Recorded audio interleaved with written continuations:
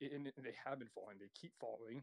It's that kills the confidence. Not to mention because you you and I both know when you have a fixed nominal debt balance, but the asset price it's tethered to declines, so you start going underwater. Yeah, that's very crippling, and I think it's showing in China. Hence, they're very cautious of taking out new debt right now. And when they're not taking out new debt, they're not consuming because when you take out credit, you're essentially consuming now, right? And you pay it off in the future, and you keep hopefully rolling it over. Hopefully, your asset prices increase, or you can get a lower interest rate refinance, etc. But in China, yeah, they're they're really the the consumer there is really struggling, and if the asset prices keep falling, you have debt. Def- there's a term called debt deflation, which was by Irving Fisher. He was an economist. You guys probably heard about him. He he was the one in 1929 who made the famous thing that U.S. stocks have reached a new plateau. They'll like never go down again, and then the entire market blew up. And but he was a very smart economist, and I actually give him credit because he went back and realized like, holy hell, I was wrong and he reshaped his thesis on everything and he adapted it to the Great Depression. And he came up with a term called debt deflation. And he said that's what happens when you have asset prices get clobbered and the nominal debt terms are the same. He said it's very deflationary because everybody has to sell. There's a rush for cash. Like nobody wants to take out new debt. If no one's taking out new debt, the banks stall. You know, consumption stalls unemployment rises. So he said it's a vicious feedback loop of deleveraging. And I think China's literally at that door right now. So I didn't mean to go on for such a long rant. No, I mean, absolutely, without a doubt. I mean, that, that was definitely a good way to open the show, you know? And, you know, again, it's, you know, again, you know, people usually speak of China as, you know, fastest growing economy in the world, which, which it has been. Okay. And, you know, I know my friend here on Clubhouse, Lindsay, you know, she's always on Chinese and she's always on China's nuts, man, hyping them up all the time, right? China's the best place to conduct business, ba ba ba ba ba. But I mean, you know, I, I don't think people really understand these um these um issues surrounding China right now, and of course, you know, the the citizens within China itself. Now, the problem is China's so big that you know an economic meltdown within China would have a huge effect on the rest of the planet. That's that's the other issue. Okay, I mean, we can go back to seeing what happened during the COVID era, right? When COVID first broke out in China, and you know they had the whole zero COVID policy. I mean, it sent shockwaves across the planet, right? And of course, thinking about what's to happen if you know this situation of deflation isn't you know handled by the government which I'm pretty sure it cannot be, by the way. I mean, every single solution that I've looked at, you know, has no um I mean, there's no happy ending, right? And you know, again, it's I, I, I don't know, Adam. I don't know how these guys get out of it. I mean, you've got, you know, what quantitative easing, um, you've got reforming the uh hukou system, I actually got that from you, by the way, the last conversation we had. I mean, I, I really can't think of any possible solutions that that don't have a negative effect on the rest of the planet. Okay, so um, you know, one thing I definitely want to talk about right now, though, um, I definitely want to highlight, you know, some of the negative impacts um that we we could see, you know, given what's going on in China right now. So on a positive side, from a from a deflation perspective, you know, this could in fact benefit consumers in the short term because essentially when it's deflation, your the purchasing power of your money increases. Right? So the average consumer is able to purchase more with the same amount of money. Right? But on a negative side of things, and this is, you know, again when we're talking about consistent uh, deflation, it can lead to a spiral where people hold off on spending in anticipation of further price decreases, which reduces demand. And if you're reducing demand in a deflationary economy, it leads to more deflation, right? For the lack of a better term. And aside from that, you know, the impact deflation has on debt, right? As prices drop, the relative value of debt increases. And then I think the most significant one to me um, because this essentially has a domino effect, is the fact that businesses may face lower profits due to decreasing prices, decreasing prices due to you know, reduction in demand, which would lead to cutbacks or closures, and of course, higher unemployment rates. And China right now, its youth unemployment is, I mean, Lord have mercy. It's like those. I was talking with Jonathan today. We are talking about the uh, China youth unemployment. I was like, bro, those guys just want to kick back and play some goddamn Bitcoin because they're not working. Okay. But then at the same time, it may be because, you know, there there aren't, you know, available opportunities. Who knows? So what we're going to be talking about in this conversation, of course, we're going to be talking about um, you know, the implications for the global economy.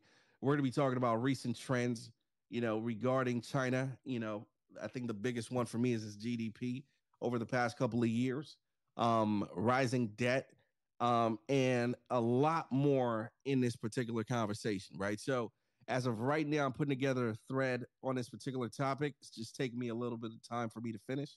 And then I'm going to post it up top for you guys to take a look at that. But um, that being said, before I toss this back to Adam, I mean, if Fine or anybody else in the room, matter of fact, let me ask you guys a question. If you guys knew all of this about China, all of this and more, of course, because we're going to be discussing this a lot more. If you guys knew all this prior to this conversation, put a one in the chat right now. If you guys had no idea China was actually going through any nonsense, put a two in the chat right now. One in the chat if you had an idea about this, two in the chat if you knew absolutely nothing was going on with China. Very interesting. Very, very interesting. What, okay. what, what, are they saying? I mean, you do have a lot of people with twos in the chat, right? There's a couple people in here who thought it was all good and gravy in China. Uh, yeah, yeah, you know, it's it's the thing with the China.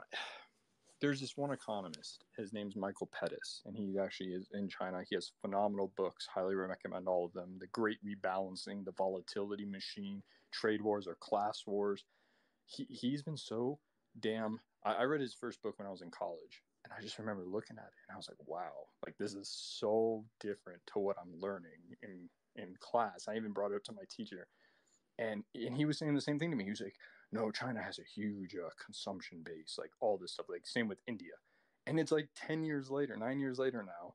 I'm looking at them and it's just like, damn, like you know, like my professors were wrong. Like this other guy was totally on point, and his main thesis was when you were China, he was like, it, so there's a thing called the Gerschenkron growth model. And we saw the USSR do it. We saw the Nazis do it. We saw Brazil in the 50s, 60s do it. Uh, Japan did it. And in short, it's when you are trying to hyper grow your economy at the beginning, you reduce consumption. Because, like I said earlier, if you're not spending, you're saving. And when you save and you're not a developed market yet, you have to depend on domestic savings or you have to depend on hedge fund money coming in. But as fast as it comes in, we all know like the Mexican tequila crisis and, uh, you know, the early 90s and Thailand and Indonesia. Uh, when all that hot money comes in, it'll boost up your economy, but it can easily be yanked out, right? And it crushes your economy. So these people, instead, they wanted to source the money domestically.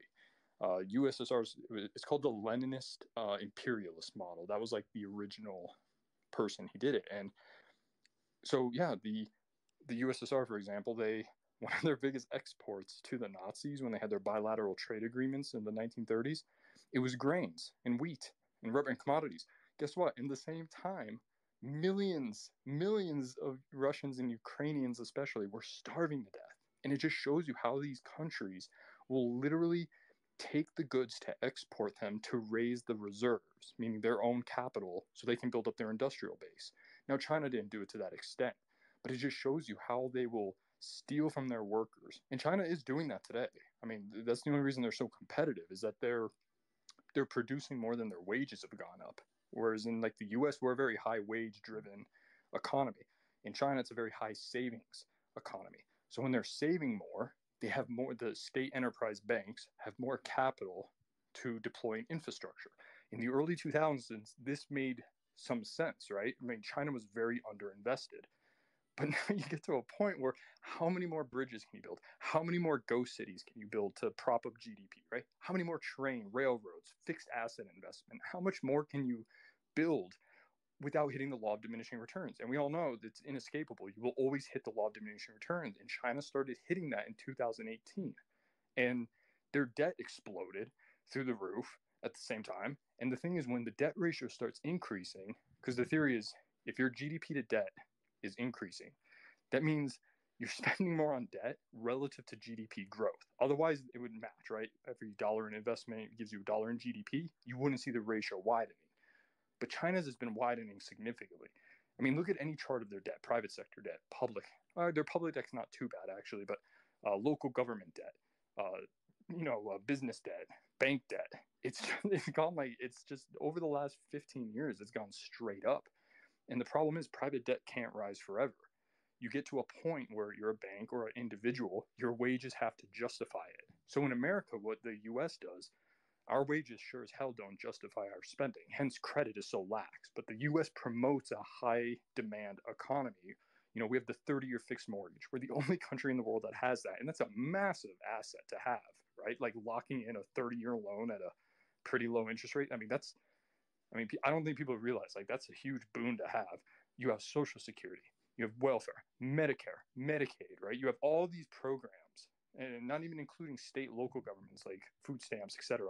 They do things to promote consumption, essentially to keep you spending, and that's the opposite of what China does. They have no safety nets.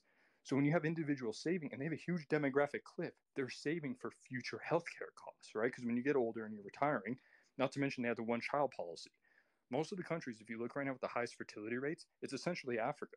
And because they have no uh, so, social safety nets. So you have to have more children, just like in the old days in the America, 1800s. You would have more children to work for you when you retired. You know, they would mill the farm and the rural properties, etc. As you get more developed, the fertility rate starts declining. In fact, I think the US, in 220 years of US data, this has gone back, we've only seen one period where the fertility rate rose in a cyclical upswing, and it was the baby boom, 1946 to 1964. It's the only time we saw fertility rate actually start increasing. And China uh, essentially neutered themselves with their one child policy for, for decades. Now they reversed it recently, I think last year or six months ago. They said, okay, you can have up to two or three kids now. But it's like the damage is done because that will take decades to play that, out. Adam, that damaged the hell out of him. Adam, there's a couple of things I want you to address. I want you to address to the crowd. Uh, you mentioned ghost cities. Can you explain what ghost cities are? Because I thought that was crazy uh, when I saw them.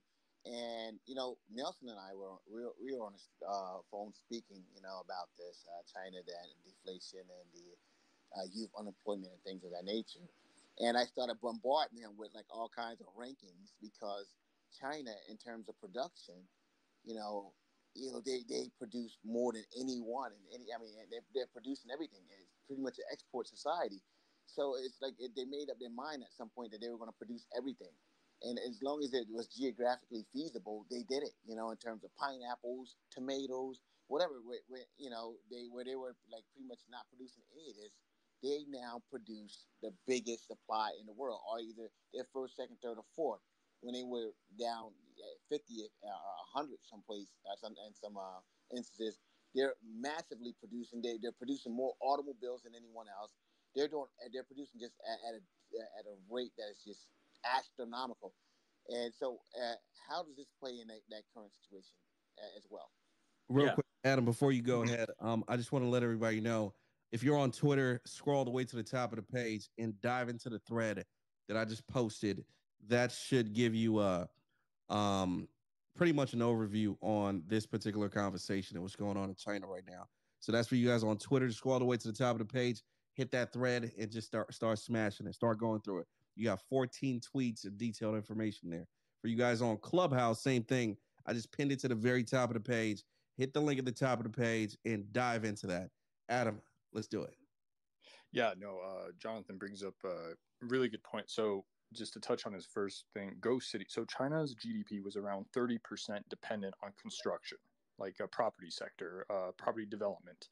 Obviously, it's a huge boon, right? The construction needs. Uh, I mean, you guys work in real estate, you, you realize how much demand and products, everything that goes into commodities, et cetera, goes into building homes. And it was fueling growth for them, about 30% of their GDP, 25, 30%. Problem is, they were overbuilding and they're pretty shoddy quality. But the thing that's interesting about the Ghost City is a lot of them are owned, but no one was living in them. And it just goes back to what I was saying earlier. They in China they don't have many options for investment. One, they can't really take their money out of the country. I mean, you, you can, but you have to get it approved. There's limits, etc. Uh, it's a closed capital account in China. It's not like in America or the UK where you could just say, "Hey, wire my whatever five million dollars to uh, whatever Panama or whatever you want to do." Right? You know, no bank's going to say no. We need approval. You know, if you if you want a suitcase full of cash, then yeah. But if you're just doing an online deposit, go for it. China, you can't do that. Um, people try to smuggle money out of Hong Kong. They do under invoicing, which has become a big problem, uh, et cetera. But the point is, so when people had all limited investments and savings opportunities, bank NIMs, bank returns were pretty weak. They have uh, wealth management products, which are, I mean, they're pretty much like a Ponzi scheme more or less in China, but they were buying these apartments or condos or whatever. Most of them are just skyscrapers, not really suburban homes, and they were just sitting on them. Like no one lives in them, but they're just using it as a vehicle. So that individual, they're like, hey, when I end up retiring, I'm going to sell this property have the cash, and live. The thing is, they overbuilt, and then demand started stalling, mainly because asset prices, because China started trying to crack down on it, which I don't blame them, because uh, their property sector was big, uh, very big, and very over leveraged. And they started something in 2018, early 19, uh, called the Three Red Lines. And they were forcing property makers. I'm sure you've all heard of like Evergrande and Evergrande, whatever it is called. Um, they got smeckled. Yeah, yeah. So China basically told them the three red lines were essentially you have to cut your debt, raise more cash. Essentially, they were telling them to deleverage. They're like, you need to get more comfortable. Thing is, anytime you tell a company, especially a property builder, to deleverage, I mean shed assets. That you right, and you and if you're telling all of them to do it at the same time, that's the you know fallacy of composition right there. That all these economies run into. If one or two people, one company starts deleveraging or one household starts paying down debt, that's a good thing. But if everyone does it at the same time, that's a fire sale, right? That's debt deflation. So that's kind of like the paradox. And um, that's what happened with Chinese property sector. They tried to rein in the debt. The problem is you can't rein in the, the property sector without curbing your GDP unless you're subsidizing it somewhere else. So China kind of reversed it. They did this year um, after seeing how they were trying to get asset prices to go back up now, which is just going to put them in a bigger problem later. But they were like, all right, we don't want to have lower growth, blah, blah, blah. Um, and, to, and to Jonathan's second point, yeah, China, if anyone hasn't seen uh, China's auto exports, you, you got to look at that chart. It, it's honestly remarkable. Over the last three years, Chinese autos exports have exploded. They just surpassed uh, Japan I believe they're going to overtake Germany, or it might be the other way around. They surpassed one of the two major auto manufacturers recently within three years.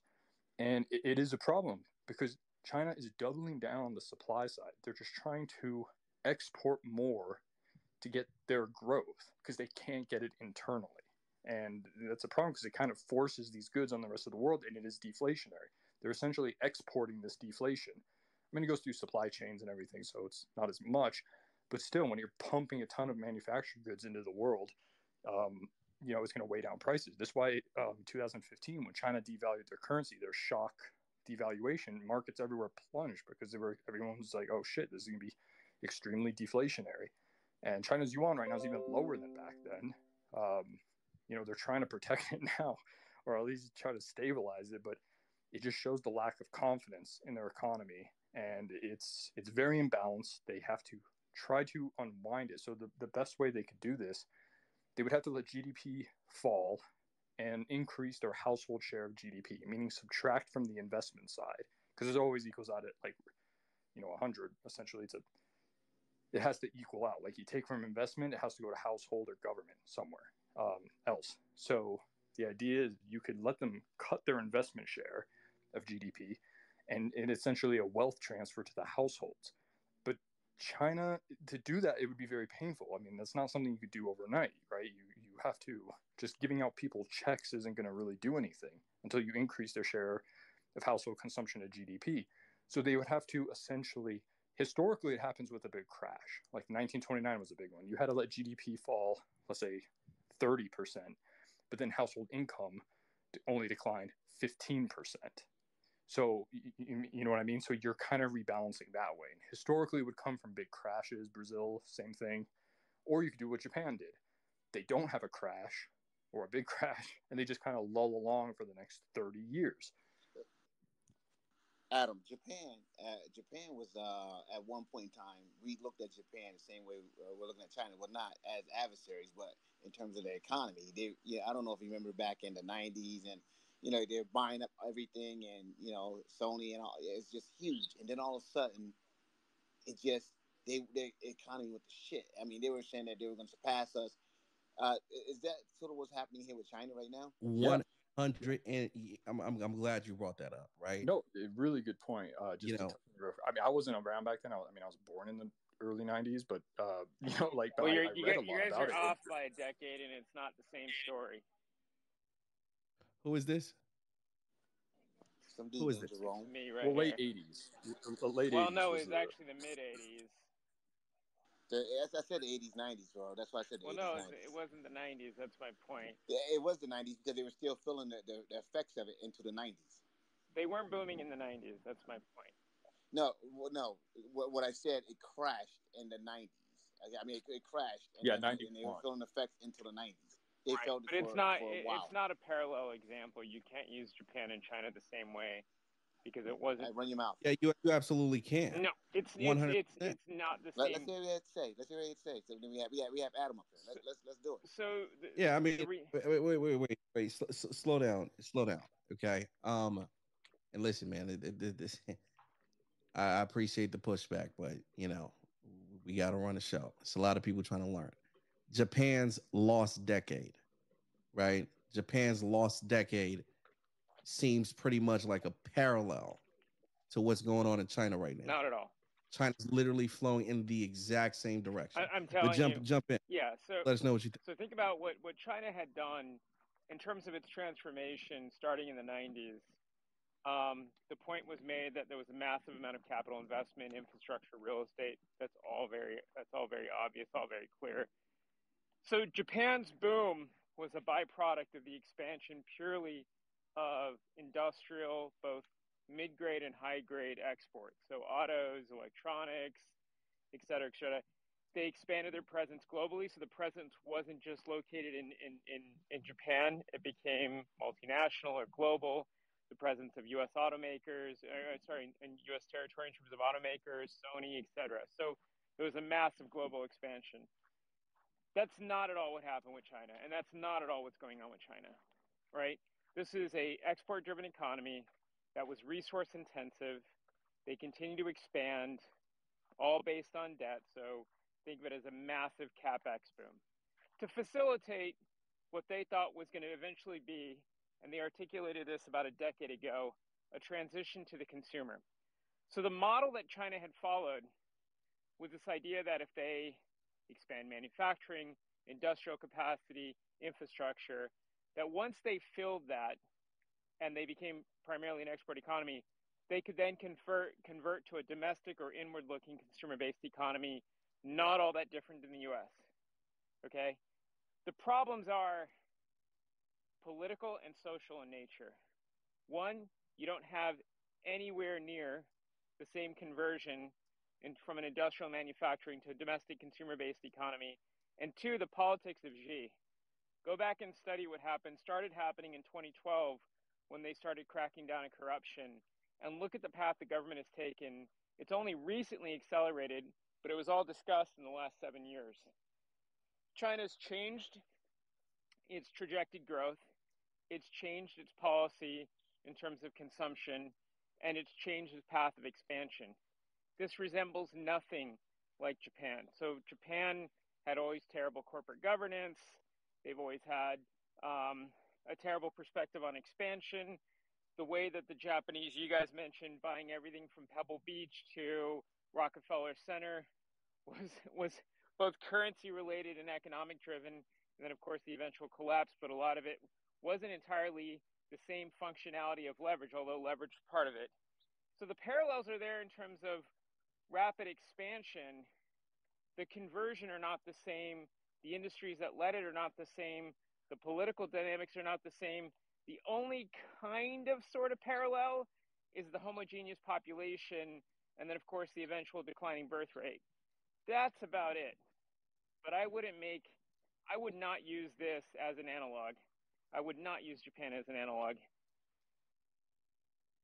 Yeah, Jerome, I, I, uh, I'm a, a, fan of your work and I respect your thing, but I, I don't, I, I, I, the parallels are pretty clear. I mean, in my opinion, excluding what they were even exporting, the end matters was they were running current account surpluses, right? Japan's current account surplus, or the exports share of GDP, it hit like 12, 15% in 1985, I believe. And then Reagan, you know, the Plaza Accord, they made them increase their, you know, their currency, obviously, them in West Germany at the time, because of the unfair trade advantages. Same thing we were seeing today. America was sick of absorbing their excess at our manufacturing capacity in the same time, when the yen increased, their household debt to GDP soared. We saw the same thing with China post 2008. Their household debt to GDP went up from what 25, now it's 63, and essentially since 2019 stalled from a stronger currency. And then it popped their asset bubble. And what China and Japan tried, there was a famous, the old central banker of Japan, um, Maekawa, uh, Huzuko Maekawa, I might be butchering his name. He came up with the Maekawa Commission, and they told in that commission to the prime minister, they said, we need to rebalance from a supply side export economy to demand driven. But the special interests and the government subsidies were so entrenched in the Liberal Party in Japan, they wouldn't rebalance. So it just lulled along for the next 30 years, running chronic account surpluses depending right. on exports. And China's done the same thing. But you didn't have, first of all, you didn't have the expansion you didn't have the infrastructure expansion, you didn't have the housing expansion that was state led the expansion of consumer-led debt now th- that has some nuances to it because to your point it's right wealth is perceived on the ownership of real estate primarily. That that wasn't the case of japanese in the 80s secondarily the ever expansion of real estate right the the the need to expand the ownership of real estate is for the most part the expansion of leverage at the consumer level this wasn't a consumer that was taking on excess credit card debt, excess bank debt in the form of owning other assets. This is primarily housing led, right? If you look at the top quartile, or I should say the top half. So, and then politically, this is a centrally planned government, very different than Japan in the 80s in terms of what the provinces were allowed to do, what the government was supporting. And you had a definitive change about 10 years ago in the path of the government. So the moment the government decided to change its path 10 years ago, even though they talked about this consumer driven approach, the moment they started to crack down on corruption, the moment they started to crack down on the involvement of U.S. companies and can the, the, the transparency on IP, the transparency on trade, all this kind of stuff, like that is very different than Japan, right? I mean, th- these things are there's similarities, but I don't think it's an analog. I, I don't see it. I mean, social dynamics are different, political dynamics are different, economic dynamics are very different. Uh, uh, we, we can we can see another massive difference, which is military presence. Japan had none. Yeah, I, I, I, th- I, think we're arguing s- s- semantics here. listen, I'm not trying to talk about Japan. Okay, one one common denominator between both of these um, economies in relation to the actual conversation. You're talking about rapidly expanding economies and how that's had that had a negative impact on Japan and how that's currently having a negative impact on China in the conversation. Okay, this is not a conversation about fucking but, but Japan. there's a lot of ex- trying to rapidly expanding between, governments. Or, or, pre, pre, appreciate you. Thank you very much. Go, go to the go. Go to the go. Thank you very much. Absolutely. Okay. All right. So, Adam, Adam, um, real quick, one thing I definitely want us to do, I want us to go back to the beginning. Okay. I want us to talk about, you know, the um the shift, right, from a centrally planned economy to a market-oriented economy by um the then leader of China. I don't know if you call him leader or prime minister, whatever it is. Deng Xiaoping. You know what I'm talking about, Adam? Yeah, from the 70s, 80s. Yes, because that was what that was what turned China into the monster that we all know it to be now. He made some changes. Okay. So, you know, Deng Xiaoping, for you guys that don't know, this guy came into power in the late 70s, I believe, late 70s, early 80s or so. And, you know, he essentially introduced, you know, substantial, I mean, just substantial economic reforms that essentially restructured China's, you know, entire economic fabric, like literally restructured it. And his ultimate objective was the modernization of China's industry. Okay, everything from agriculture to defense, technology, et cetera, et cetera, et cetera. And his key target areas, I believe, if I'm if I'm missing something, Adam, just correct me. National defense, agriculture, science, and technology. Okay. And he also introduced a unique model. And, you know, I think the best way of describing this is socialism with Chinese characteristics. Okay. Essentially promoting market practices and private enterprise within a socialist framework, right? Which was completely different in comparison with how China had been navigating the waves prior to this guy gain, gaining power. Um, Adam, am I, am I on point so far? Have I missed anything so far? Am I good? No, you, I mean, uh, yeah, that's pretty much what what they were doing. Okay, and so the shift from you know a centrally planned economy to a market oriented one.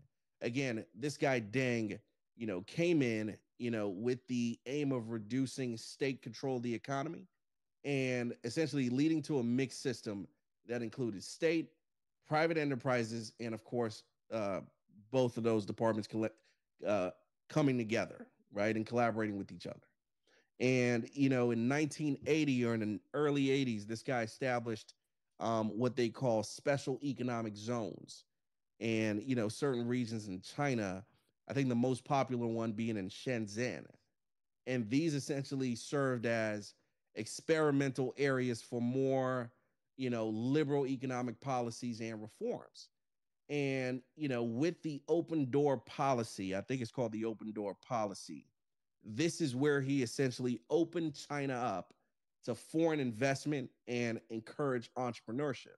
Right. So, I mean, this one guy literally changed the socio-economic fabric of China.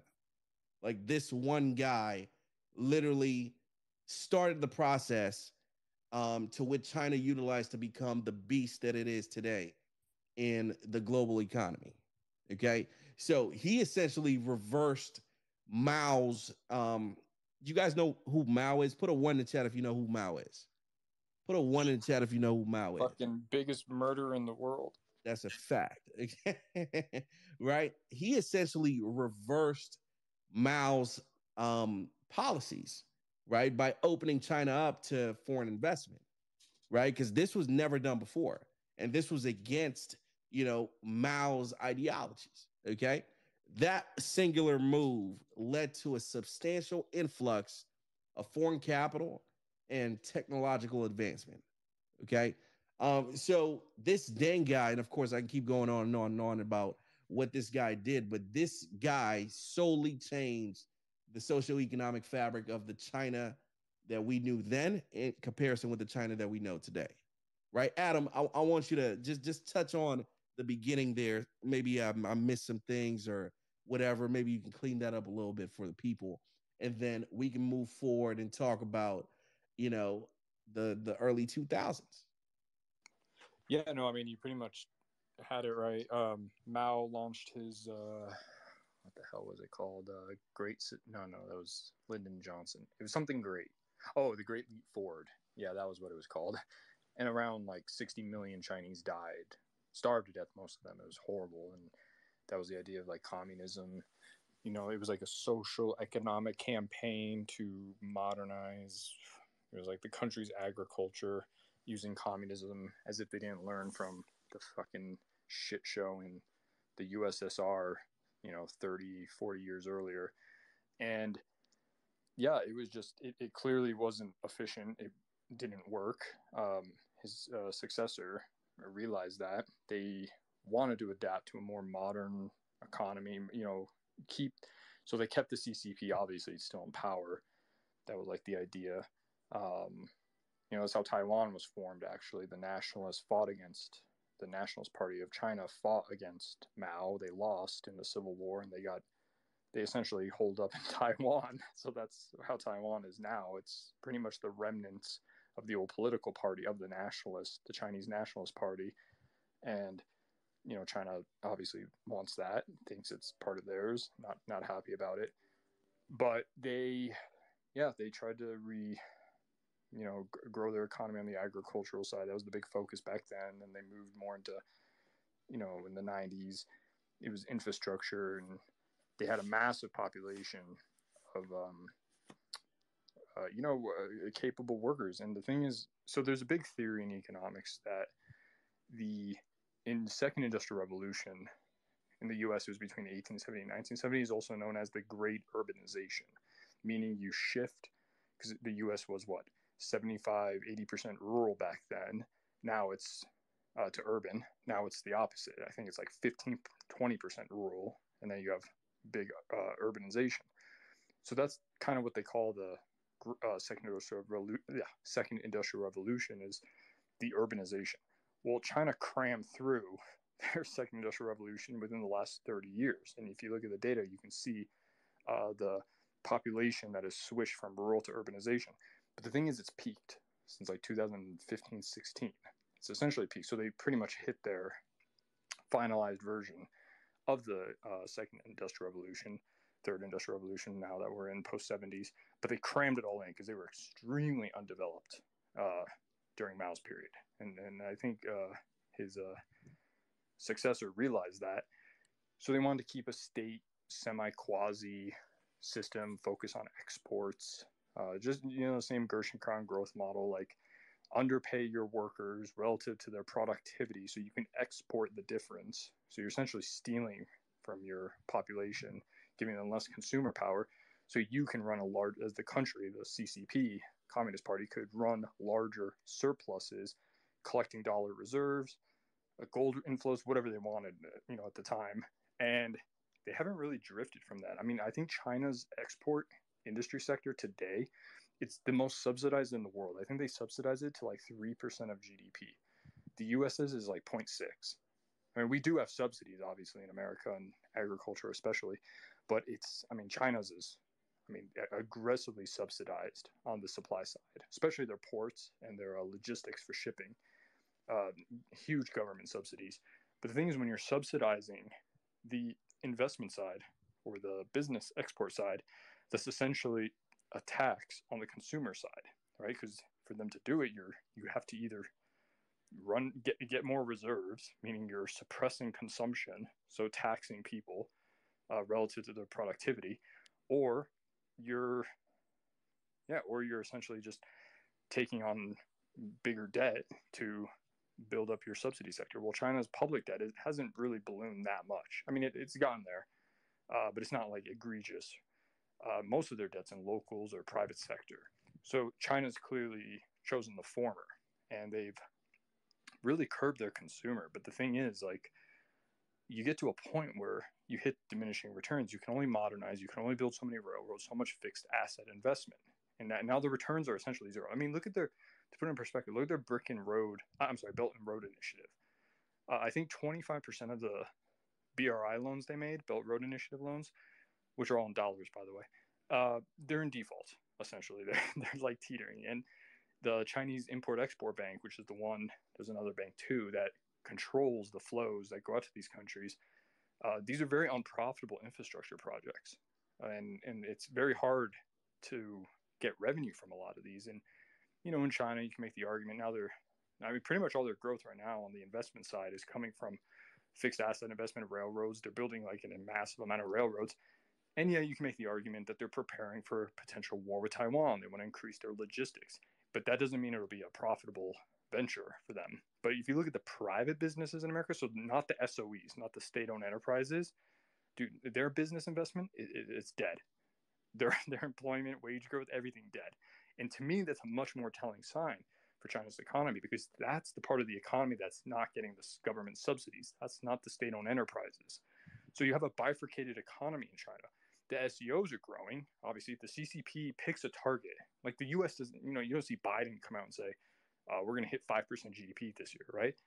In China, if they say, we're going to try to hit 5% GDP, if your domestic economy, private economy, not state, anything related to state, I'd say there's probably around one, one and a half percent. That means you need the state side to pick up the slack. And that money is going to go into wasteful infrastructure, whatever they can, just to get the growth going. So it's a very bifurcated situation, and it's going to be very difficult for them because they have to choose, right? Either we rebalance, trying to fix it, or we just keep going into the hole we've already dug, keep taking out, you know, more leverage to unprofitable projects. Their banks are very stressed at this point. I mean, bank NIMs in China are terrible.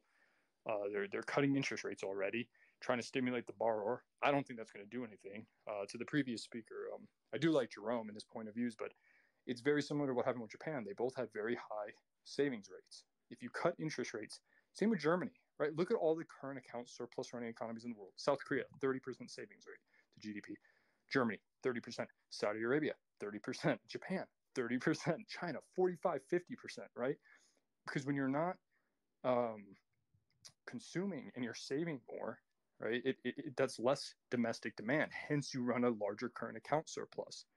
And to put in uh, like econ lingo for anyone, let's say a firm and individuals uh, has, uh, I don't know, let's, let's just say they have 10,000 and they make an income. They spend 9,000 of it, they save 1,000. That 9,000 that they're spending goes back into circulation, right? You're spending essentially because someone else's income. And that one grand you saved, so the 10% left over, goes into banks. And the banks can use it as, you know, for know, it's an increased deposit for them. They could use it for collateral to make a loan, a business, etc., whatever. But if no one, so what's happening right now in China is if you have a very high savings rate, so 45%, so instead of it being nine and 10, like kind of in the US, where you're saving around 10%, it's less than 10%, but let's just say it is, um, they're saving 45, 50% gross savings to GDP. So that's almost half your income is being saved. And it, the problem is if no one is borrowing, it, like, and that's what we're seeing in China. Look at household debt to GDP. No one's borrowing right now because the, they falling asset prices, declining confidence, whatever it is. They, the Chinese consumer, like Japan, does not want to take on more debt. So the central bank essentially cuts interest rates to try to stimulate it, trying to uh, keep that stream of that whatever 9 and 10 ratio I was saying, or in China, whatever 50 50, let's say, uh, in circulation and it's deflationary. But if people are now saving more and the firms are borrowing less, which they are in China, it keeps rates chronically low and it slows the economy and inflation. Hence why we're seeing deflation. Like the businesses are worried. Oh, why would they borrow to expand capacity when when consumer demand is so anemic? This is the same thing with Germany and Japan. Their companies are very profitable, right? But the thing is, they're not expanding capacity because there's no um, consumer demand in their economies, right? So what do they do with that savings? Oh, what do you know? They're buying U.S. bonds or they're shipping it abroad, or what Germany did. They used the pig nations essentially uh, to offload all this credit because if if you're not getting investment in your country, that money will flow to places where it's growing. So we saw Germany. If anyone looks at the chart, just Google German current account. After they did the Hartz reforms in the early 2000s, Germany's current account surplus has just gone straight up. It's blown through the roof because of their anemic demand relative to their savings or productive capacity. So they're exporting essentially more than they're importing. Or I'm sorry, they were exporting more than they were consuming domestically. So all that savings, when you're running these current account surpluses and you're these exporters, you're not investing at home because you're not getting any demand. Same with Japan. Japan's run chronic account surpluses for 30 years, and they were doing huge surpluses uh, pre 1991 also. And that was a problem with the US. They were getting annoyed. They're like, hey, what the hell? We're, you know, you're keeping your currency cheap. You, you're killing US auto manufacturers, killing manufacturing capacity because we're forced to absorb your inputs. And granted, we had a massive military in Japan during the Reagan administration, obviously, since World War II. So they played more ball compared to what China would do. But Japan obliged. They said, all right, we'll let the yen appreciate. And it popped their bubble. Uh, Germany is offset their savings to the rest of the European nations. I mean, Spain was running pre 2008. Spain was running one of the biggest deficits in the world. At the same time, matching Germany's large current account surplus. Right? They always have to match. It, it will like uh, balance of payments, like current account surpluses, deficits all over the world. Like you always hear about the U.S.'s big deficit. That essentially means China, mostly the BRIC nations who run huge surpluses, Germany, Norway, Netherlands, like a few of them South Korea, that essentially means they're running surpluses. It always, the aggregate amount will always balance out at zero. And so when you see these other countries running a surplus, that means somewhere else is running a deficit. And yeah, that that was kind of the problem, and, and Germany was off shooting that reserves and credit they were getting, sending it to the U.S., sending it to the pig nations, putting them more in debt, um, obviously because that the savings had to go somewhere, and then when the but the problem is private debt can't rise forever. So they had to deleverage. Eventually, we saw it in Europe. Now they're just they've been broken for over a decade since the 2011 uh, pigs crisis, and you have to find other outlets for that money. So the U.S. is kind of now the only economy out of those three. Eurozone is running current account surplus.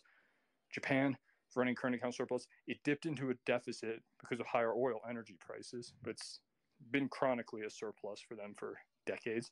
China's now running massive current account surpluses. I think their January to February current account surplus was the largest.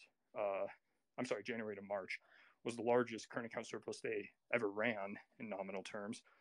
And now you're seeing uh, them essentially have to offload it. Sorry, I didn't mean to go on such a long rant. It's all good, bro. It's all good. Absolutely on point, by the way, right? So I guess you know at, at this point, you know, it's you. Do you know who I'm? I fear for the most the African countries that China has exported. You know, it's you know it's deflationary, you know, exports to right. You have Nigeria. You have, I mean, just so many African countries. They've exported labor. They've exported a bunch of stuff, and they're still doing it, right? Because with the West, you know, America and you know, I mean, we're, we're, we're bigger boys. We're tougher. Okay. But you're talking about poor countries who just might get poorer based on the current situation in China. So it's very interesting to think about. And of course, Adam, I'm going to circle back to you to get your thoughts on that. But um, real quick, just so you guys get an idea of what China is facing right now, because I also attached um some images to the thread showing some charts.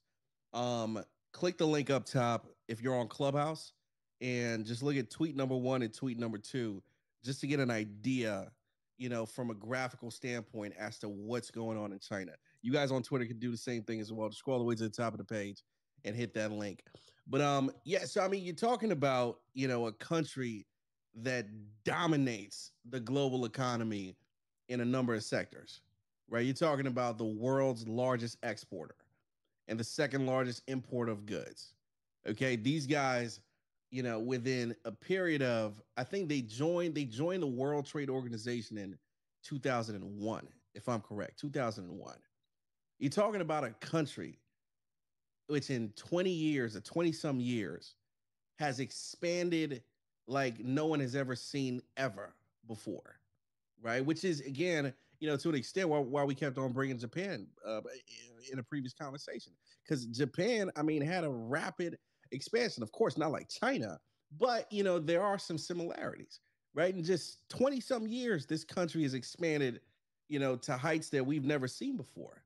They're the world's largest exporter, second largest importer of goods. They're the world's largest manufacturing output. Okay. They, I mean, they dominate the electronics industry, they dominate the machinery industry, they dominate the textile industry, the technology industry. Well, uh, green energy. I mean, freaking, it, it's it's crazy. Okay, so how does a country go from a yeah, absolutely. How does a country go from a place of dominance to essentially facing a deflation threat unlike any other in the global economy, right?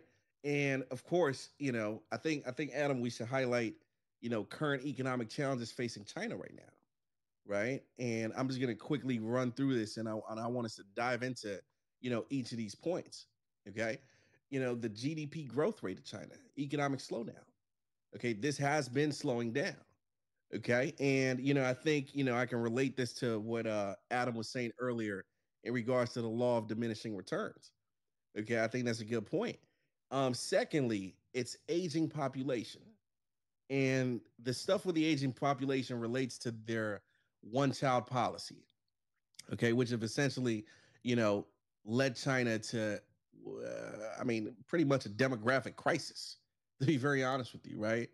And, you know, this is marked by a declining labor force and an increasing aging population. The replacement rate, the replacement rate in terms of, you know, individuals who are retiring and individuals who are replacing them in the labor force is completely negative. And you know, this this is definitely due to the fact that they had this one child policy. Um, another thing to highlight here, the debt levels in China right now, right? In regards to, you know, corporate debt and public debt, I mean, it's just completely unhealthy, right? I mean, you have environmental concerns, right? Um, relating from their uh, their rapid industrialization. Okay, you have trade tensions, you know, particularly with us here in the U.S., right? And I can tell you this for sure: China definitely doesn't want to be our enemy moving forward as they navigate this deflationary state. Okay, so like you you have a bunch of things fucking with China right now. And you know, of course, Adam, I want you to expound on this. I mean, you're more you're more knowledgeable on this than I am, so definitely want you to expand on this and let's talk about it. no, you're you're right. They so yeah, with China, they they've hit the law of diminishing returns with their infrastructure and investment side. I mean, I think that's clear at this point. Their banks are drowning in toxic debt, non-performing loans are rising. Their local governments, their municipalities. So Beijing kind of controls the whole thing, but it's you know the local governments also have their own debt uh, and it's gotten bad they depended on a lot of their revenue from land sales for property since that's tanked we're seeing them now do things um, you can even google this uh, the local government municipality provinces in china they began doing uh, taxes like there was a um, a uh, restaurant in china that got fined $700 us dollars for having a certain meal prepared a certain way. I mean, th- th- so that's essentially a subsidy, right? You're taking money from the household sector, making the problem worse, and you're diverting it to the government. But what is the government doing with the money? They're, you know, you, you can't. They're already hoarding reserves. They have three trillion in uh, dollar reserves, and they have bonds, etc. U.S. bonds because they got to park it. They need the yield. I mean, what are you going to do? Just sit on a bunch of cash? Like nobody does that, right? You uh, bonds are for rich people. It's money for rich people, and and the thing is that that's also a bullshit number. Look at their balance of payments, their chronic surplus. That number hasn't changed, by the way, their reserves in almost a decade. But if you actually look at their balance of payments, I would assume, from my own analysis, they probably are sitting on five, six trillion US dollars within their banking system. Uh, either it's the shadow banks or the state banks that they're offloading them to. I mean, there's no way it's just three trillion. I mean, you can't run those big of chronic current account surplus and not have that massive amount of money. And it, it's a problem because if they go to war with the U.S. or today, I don't know if you saw in the news, they were saying BRICS is thinking about starting their own currency. God, I am so sick of hearing that because if you cut out, look at, let's look at, let's be real what BRICS is. And China is the, the powerhouse in BRICS. So if they made a BRICS currency, it would essentially be tethered to China. The problem is all of BRICS. So you have Brazil, Russia, India, China, South Africa. Four out of the five run current account surpluses. That means they depend on someone else, like Europe, the West, etc., to get those deficits. You can't have you can't cut out the West and have them all run a surplus. It's mathematically impossible. So the, China, the only one of scale, let's say Russia, the second largest economy in BRICS, uh, or maybe it's India. They're. India is a very poor country, by the way. Actually, India, they're uh, they're uh, was it their finance minister? He actually said they have no interest in doing a BRICS currency, and I don't blame them. Why the hell would they want to do that? Uh, it's, a stupid idea for them. So they're going to tether themselves to China, a fading growth engine, and what three stagnant commodity exporters in South Africa, Brazil, Russia. Like it, it's just it's it's a silly concept because essentially China then would have to run deficits to absorb BRICS um, gluts, their, their surpluses. Does China want to do that? Probably not. I mean, eh, clearly not. Actually, if you look at their policy, they're they're exporting more than importing by a wide margin right now. So I don't think they want to politically subsidize the rest of those countries. And I think that's the big problem because if they go to war with the West, to your point, you're taking out one of the largest consumers of your excess goods. So you have two options in that situation if you're running a current account surplus and global demand dries up and you don't have the demand at home, you either have massive deflation from stockpiled goods that aren't going anywhere, or two, rising unemployment. Well, obviously, those are both very politically hard pills to swallow. Uh, Vietnam recently, uh, Nike, Vietnam is one of the largest textile exporters in the world, for example. Nike told them, uh, "Hey," and Adidas, "Hey, hey, we're having slowdown. We need less food. Uh, I'm sorry, textiles. Like the demand is weakening." So Vietnam had two options: we can consume these products at home. Well, they can't because they don't have the purchasing power to do it, or they had to choose rising unemployment. And they laid off 6,000 factory workers in Vietnam. And that's not a political good look.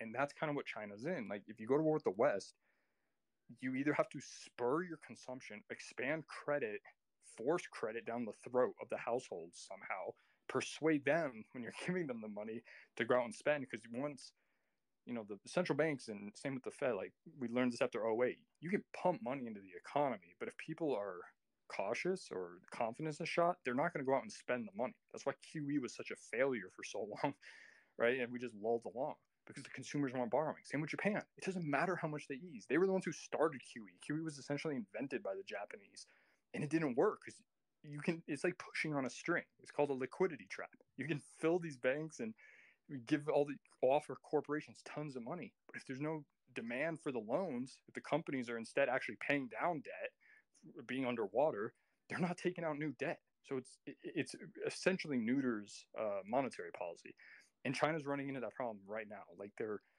they're trying to cut interest rates, they're trying to get the consumer to spend, but when you have a household sector that's significantly lagging relative to your investment sector, it's not something you can do overnight. You would have to totally rebalance. If they went to war with America, um, I mean, yeah, it would, it'd be a fiasco for sure. I mean, I mean, it definitely would be awful, but it would hurt uh, China just as much as America. I mean, you see people say, "Oh, China's got a bunch of gold." You know, Russia, they're holding all this gold. Yeah, look at their real GDP per capita. Russia's is down 25% since 2015, right? It's like, what wealth? Like, you, okay, they have gold and no US debt. And look at their currency. It's gone to shit. Like they have no consumer in that economy. Same with the you know South Africa and Brazil. Uh, China's is okay. India is you know it, it, could be have potential. Hence they don't want to peg themselves to China. So like hey we're getting GDP we're growing. Why the hell would we want to tether ourselves to you? Because if you make a BRICS currency in China, which is the largest economy obviously of BRICS, I'm assuming like Germany was when the Europe, right? They built the ECB, the European Central Bank, off of the former German Bundesbank, because it was the most stable and fastest growing economy. So I'm assuming if they BRICS currency, they would have to tether it to the yuan. It'll, it'll be a dumb decision for India, right? Oh yeah, and they said it. They literally said it. They're like, we have no interest in that whatsoever because let's did say China. You know, did you know that India right now? India right now is forecasted to be the largest e- e- economy in the world by 2075. It could be. It, it, I mean, to me, China's. I mean, India's been the golden goose that's never laid an egg, but it definitely has potential. I mean, it has far more potential going forward than China does, obviously, because they haven't even started uh, their infrastructure. They have very bad infrastructure in that economy, a very bad caste system. But if they wanted to, or maybe they'll try to fix it. I know they want to make the rupee more attractive, their currency. I mean, there's no incentive for them to peg themselves to a fading growth engine and three stagnant commodity exporters because if China's slowing, let's say in theory they're all pegged to each other. Let's just say BRICS makes a currency. Let's say China's slowing. China's like, all right, we're going to cut interest rates. But let's say India's running hot. They're growing. So by China cutting interest rates, that means they all have to cut interest rates, right? Because you're pegged. Otherwise, you'll break the peg. This is kind of what happened with Europe, uh, right? Germany was good, but the pigs weren't. Germany was tightening, and the pigs, uh, the other like Greece and them weren't. So that's the problem. You you have these different economies, and you're trying to tether them to one you all have to follow the one. And India would probably not want inflation and GDP running hot, kind of like what Turkey was doing right now, right? You don't want to be in that situation just because China is lagging. Or worse, let's say China's saying, we're running hot. We want to uh, raise interest rates. And let's say you're Brazil and they're like, no, we're in a recession. What the hell? You're going to tighten interest rates? That means we have to tighten interest rates. And then you're going to sink us into a recession. So I just don't see it working. Europe, it's created a lot of problems, obviously. I just don't see BRICS doing that. So yeah. A hundred percent, brother, without a doubt. By the way, guys, if you're enjoying this conversation, put a fire emoji in the chat right now. Put a fire emoji in the chat again. This is not a, you know, this is not a popcorn conversation, right? This is this is more of a let's get informed and let's have um an educational discussion, an educative discussion. right? So put a fire emoji in the chat if you guys are enjoying it. Again, for you guys on Twitter, if you could retweet the space, that'll be awesome. For you guys on Clubhouse, if you could share the room to the hallway, pay some of your friends in the room, that'll also be awesome, right? So, um, I mean, one thing I definitely want us to discuss, Adam, and this is going back to the gentleman from earlier who just couldn't shut up, you know, because I mean, you got to follow the structure of the room, right? Now I want to talk about Japan, okay? Because now I want to talk about the Japanese lost decade, right? And of course, get everybody to understand that this would have been a perfect time for him to chime in in a discussion as opposed to earlier on, right? So, um, I, you know what? Put a one in the chat if you guys understand what happened, you know, in Japan, right? If you guys understand you know, this term, the lost decade, you know, in its association with Japan. Put a one in the chat if you understand it. Put a five in the chat if, if you do not understand it. Um, and maybe put a zero in the chat if you just you just you have little just little knowledge on that said topic, right? So just drop it in the chat real quick. And yes, to Kyla in the comments, this room will be available for for you to listen to later. The replays will be on, so you can definitely check it out wow, so it seems like a lot of people don't actually understand what happened. Um, so I guess Adam, I mean Adam, you, you want to take this or you want me to just, uh, just summarize it real quick? Yeah, you can summarize it and then I can add in anything. Okay, cool. So, you know, the lost decade with Japan essentially refers to um and honestly, we're, we're talking about 20 plus years, right? In terms of um you know this this period of you know just completely negative things happening to the J- Japanese economy. And um you know, you have certain things that cause this, right? So you had an asset price bubble. And, you know, just to, just to get you to understand what that means, you're talking about real estate in a sense, right? You're talking about real estate and you're talking about, you know, a catastrophic you know, negative situation when the bubble actually burst, right? So for some of you guys in the room, you know, the first thing you're probably thinking about is 2008. Imagine 2008 on steroids for the Japanese real estate sector, okay? And, you know, this is something that completely, completely schmeckled, you know, I'm going to use Ray's word right now, schmeckled the Japanese economy, okay?